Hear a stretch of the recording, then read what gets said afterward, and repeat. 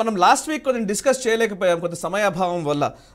పాకిస్తాన్లో ఇప్పుడు ఇప్పుడు ఎంబీఎస్ పర్యటన సరే అది చాలా చిన్న విషయమే కావచ్చు అది పెద్ద అంతగా ఇంపార్టెన్స్ లేకపోవచ్చు బట్ స్టిల్ పొలిటికల్ అఫీవల్ చాలా సీరియస్గా కనబడుతోంది. అక్కడ ఒక అన్సర్టనిటీ కనబడుతోంది.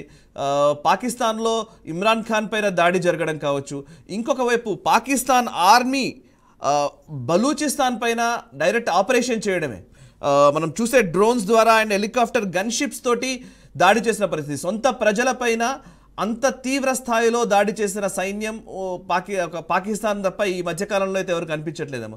గతంలో జరిగి ఉండవచ్చు రాచరికాలు ఉన్న ప్లేసెస్లో. బట్ ఈ ఈ పర్టికులర్ ఈ మధ్యకాలంలో అయితే ఒక ఇరవై సంవత్సరాల వ్యవధిలో అయితే ఇంత దారుణంగా అయితే జరిగిన దాఖలాలు ఉన్నాయా మరి? Please correct me sir.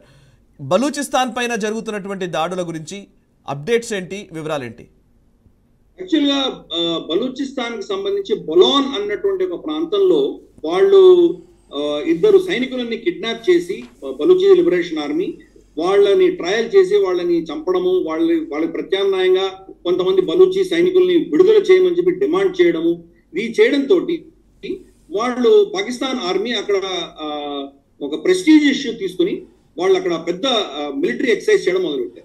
ఆ మిలిటరీ ఎక్సర్సైజ్లో వాళ్ళు హెలికాప్టర్ గన్ షిప్స్ కూడా దించి హెలికాప్టర్ గన్ షిప్స్ తోటి వాళ్ళు అక్కడ అటాక్స్ చేయడం మొదలుపెట్టారు.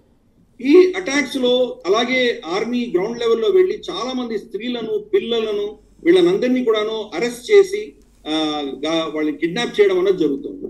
దీంతో అక్కడ విస్తృతమైనటువంటి పాకిస్తాన్ వ్యతిరేక భావజాలం పెరిగి పాకిస్తాన్ని వ్యతిరేకిస్తూ అక్కడ ఉద్యమాలు అక్కడ ధర్నాలు విపరీతంగా జరుగుతున్నాయి.